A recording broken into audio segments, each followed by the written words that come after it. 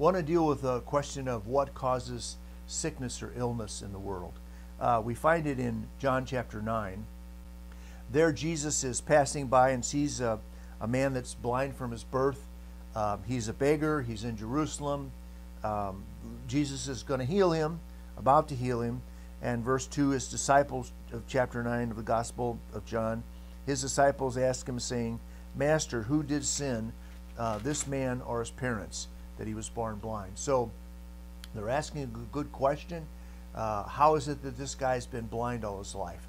You know, what's the cause of this? Um, you know, we can, uh, we know that the, the ultimate cause of all the sickness in the world, all the illnesses, all the infirmities, eventually our death, is because of sin.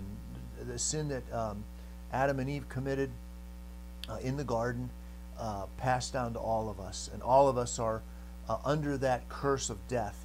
I mean, um, it's going to happen to us. Everybody that's been born into the world has died because of, of the curse of sin. Um, and more specifically, these uh, disciples are asking him, was it uh, his sin and, or was it his parents' sin? Uh, look at um, John chapter 5. John chapter 5, verse 14. Um, Jesus uh, has healed a man, and he uh, he'd been had an infirmity for 38 years, sat by the pool, uh, and uh, unable to pick himself up and get himself in when the waters were stirred, so he could be healed. Pitiful person.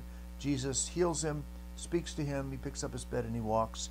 And um, verse 14 says, Afterward, Jesus found him in the temple and said to him, Behold, you are made whole.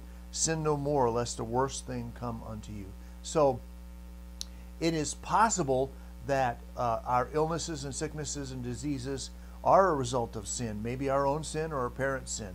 Uh, I mean, the, disciples aren't far off when they ask that question. Um, it could be that it's just a normal course of the uh, of the infirmity of, of humankind uh, that has been passed down to us from Adam. It could be the result, uh, which is eventually because, uh, ultimately because of sin, uh, or it could be uh, a more a close, more closely associated sin of of ours or our parents. Um, so do you see that there in verse 14? Don't sin anymore, lest a worse thing come unto you. I mean, it, it, it could be worse if you keep sinning. Don't don't continue to sin. Um, look at um, Job chapter one. Job chapter one and verse one. there was a man in the land of Uz whose name was Job, and that man was perfect and upright and one that feared God and eschewed evil. So uh, here's a guy who's going to be in terrible, terrible physical pain and suffering. He's going to have um, his his whole world is going to be shaken up. His all his children are going to die. Their homes are going to be destroyed. He's going to lose uh, all of his cattle, all of his all of his possessions. It's just him and his wife and uh, he's going to be in a terrible state. And look at um, his condition. He's perfect and upright. Uh, he's, he fears God. He eschews evil. Uh, he is uh, making offerings for his children in case any of them has, have sinned against God. I mean, this guy is this guy is upright and blameless. So what is, what is going to happen to him is not going to happen because of his sin look at chapter 2, uh, beginning in verse 7.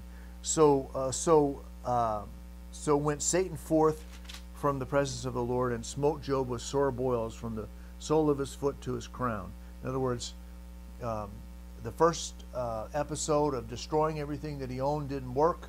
He, he, he stayed true to God, and the next thing he does is he's going to touch his body. And he has boils from the top of his head to the sole of his feet. And he took uh, Job did, uh, verse 8, uh, a, a, piece of pottery to scrape himself, and he sat down among the ashes. I mean, he is, um, he is the epitome of uh, um, um, pity, you know, that, that he is sitting in ashes and scraping it, scraping the boils, just in complete misery. His body is racked with pain from these boils. He's lost everything, you know. And as it goes on in the book of Job, we understand this wasn't, I mean, Job was upright. He was a uh, upright man. He was a perfect man. It doesn't mean that he had no sin. It's just that he was complete. He was following after God. He feared God.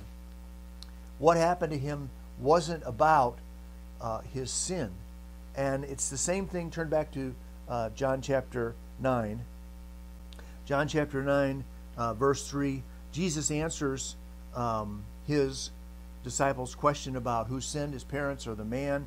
And he said, Neither has this man sinned nor his parents, but that the works of God should be made manifest in him. So, or made known through him.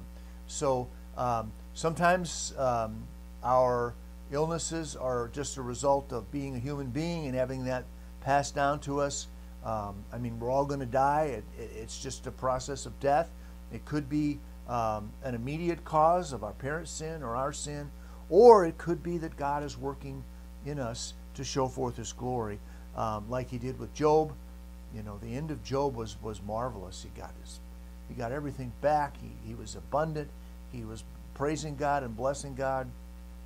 And this guy who's born blind is going to be the same way. Well, I hope that answers the question. Um, where does sickness come from?